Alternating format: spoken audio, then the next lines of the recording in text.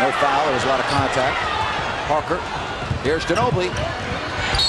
Oh, my. What a play by Manu Ginobili. That was spectacular. Watch Ginobili gets hit by Miller. Watch the body control, the contortions, using the spin at the hoop. Not many players can make that play. The Heat have gone cold. Ginobili on the finish. Flushes it with the left hand. Manu Ginobili turn back the hands of time. Now the Spurs still have a couple of timeouts, but they're not going to use it.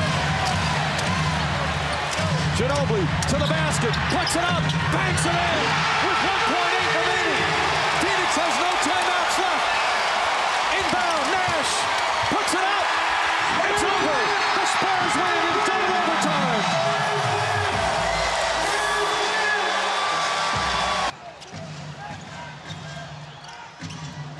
Here's Ginobili for three.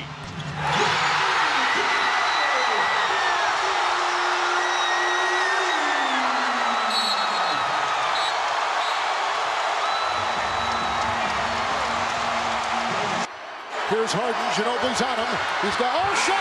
What a play by Ginobili! Ginobili snuffs a shot by James Harden.